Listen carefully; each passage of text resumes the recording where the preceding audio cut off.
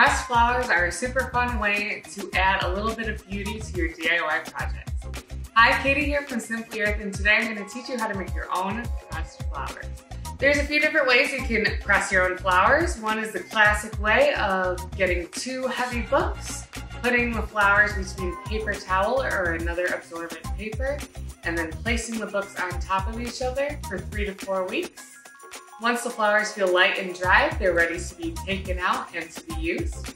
Another way you can press your own flowers is in the oven. Turn the oven on to 200 degrees Fahrenheit.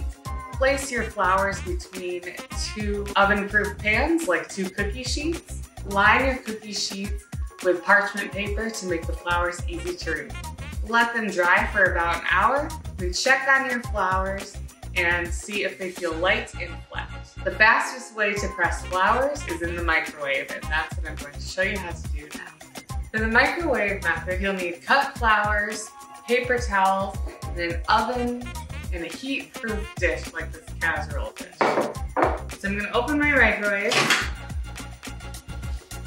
put down some paper towel, arrange my flowers, Gonna put my paper towel on top. Then my heat-proof dish. I'm gonna turn the microwave on a low power setting. I'm gonna use power level three, but it can vary with each microwave. And I'm gonna turn on the microwave for one minute. After that, I'm gonna check on my flowers. Each flower is gonna take a different amount of time to dry. I'll know the flower is ready when it feels light and dry.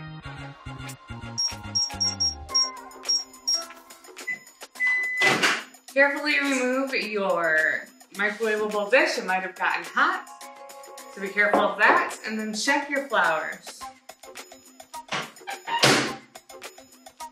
These flowers aren't done yet. They feel wet and they aren't totally flat yet. So I'm going to put them back in the microwave for 30 more seconds. Then I'll check them again and I'll continue to do this until my flowers are ready. Once your flowers are dry and flat, they're ready to be used in your crafts, or you can store them between two sheets of parchment paper or wax paper between two books to keep them nice and flat.